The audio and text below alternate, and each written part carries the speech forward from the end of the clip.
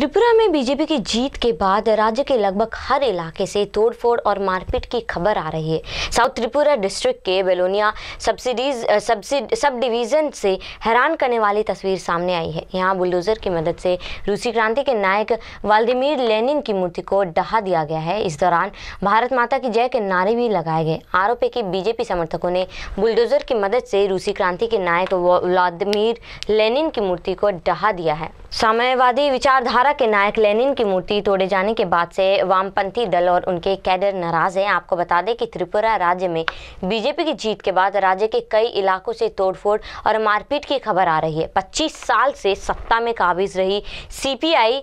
आरोप लगा रही है कि बीजेपी आईपीएफटी कार्यकर्ता हिंसा कर उतारू आ चुके हैं। वे न सिर्फ़ वामपंथी दफ्तरों में तोड़फोड़ कर रहे हैं, बल्कि कार्यकर्ता के घरों पर भी हमला कर उन्हें निशाना बना रहे हैं। एक न्यूज़ चैनल के मुताबिक त्रिपुरा के एसपी कमल चक्रवर्ती ने जानकारी दी कि सोमवार दोपहर करीब साढ़े तीन बजे बीजेपी समर्थकों ने बुलडोजर की मदद से चौराहे पर लगी लेनिन की मूर्ति डहा दी। एसपी के मुताबिक बीजेपी समर्थ बीजेपी समर्थकों ने बुलडोजर ड्राइवर को शराब पिलाकर इस घटना को अंजाम दिया है। फ़िलहाल पुलिस ने डिवाइडर ड्राइवर को गिरफ़्तार कर लिया है और बुलडोजर को सीज कर दिया है। मूर्ति तोड़ने की घटना पर सीपीएम की प्रतिक्रिया आई है। सीपीएम ने ट्वीट किया है कि त्रिपुरा में चुनाव जीतने के बाद हुई हिंसा प्रधानमंत्री के लोकतंत्र पर भरोसे के दावों का मज़ाक है। साथ ही वामपंथी कैडरों और दफ्तरों पर हुए हमलों की लिस्ट जारी करते हुए पीएम मोदी और बीजेपी पर उनके कार्यकर्ताओं को डराने और उनके मन में खौफ पैदा करने का आरोप लगाया है।